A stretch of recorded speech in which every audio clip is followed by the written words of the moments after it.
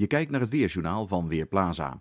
Wolkenvelden boven Nederland, moeilijk te zien vanaf de satelliet, maar ze zijn er wel. En ook opklaring in het westen en noorden. We beginnen de dag bij opklaringsgebieden koud. En op andere plaatsen waar bewolking voorkomt, ligt de temperatuur zo rond de 1 à 2 graden. Uiteindelijk in het westen van het land wel wat zon. Misschien vanmiddag ook op andere plaatsen een klein beetje zonneschijn. Het kan wel nevelig zijn en bewolking heeft vaak ook de overhand. Het wordt 2 tot 5 graden. De wind is zwak tot matig uit het noordoosten.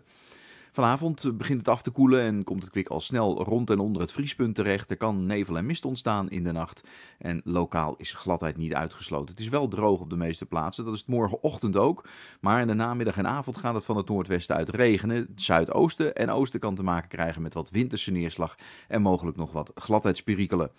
In de loop van zondag loopt het kwik dan verder op. Het wordt 4 tot 9 graden.